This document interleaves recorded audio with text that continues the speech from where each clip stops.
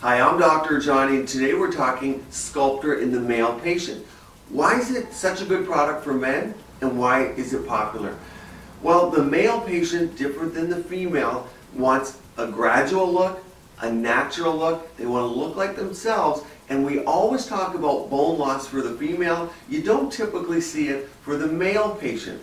Typically it's a bit of fat loss, especially if they're in shape. So we're using products a little bit deeper we want to create volume, but not a puffy look. And remember, Sculptra doesn't draw water in, so you're not going to get the puffy look. And also, men want long-lasting procedures. And Sculptra, if you look at the study, it stopped at two years to get FDA approval, and the graph was steady. The results were continuing. What do we see in real life then? Because that's what we have to go by. Typically two to five years, people like a top-up. So it's not uncommon for people not to need further treatments for three to five years, and the male patient loves that. Now aesthetically, when we look at a male patient, it's much different than a female. In a female, we think of soft, curving, and, and a nice flow and adjoinment to the skin, whereas a male, we want to create angles, a bit more of a sharp border, and the jawline to be strong but not having a high feminine cheek, although a component of that is okay. So there's a balance there, and with the male patient and Sculptra, we can address all of these areas.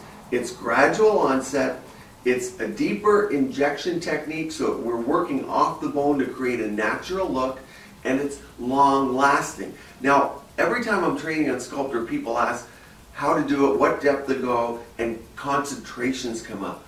And Sculptra injecting is an art. So we're always changing the concentration based on the depth of injection, the needs of the patient, and the skin texture and tone. Male patients tend to have better skin. Why? Testosterone, so hormone related issues, the bone structure is typically better. Men often shave every day, so it's like a microderm every day. And there's a lot of times more oil production that protects the skin. And a lot of times they don't get necessarily the sun exposure or the tanning that females might get. So the skin tends to be a little protected. And Sculptra works very well as a structural support product as opposed to something that puffs out. So Sculptra is very common for males for those reasons. It's an art to learn to inject Sculptra, but it's a great addition to the practice and very welcomed by the male patient. Thanks for joining me today. Join me on YouTube, Instagram, and Facebook for continued helpful tips. Keep your skin and body beautiful, healthy, and vibrant.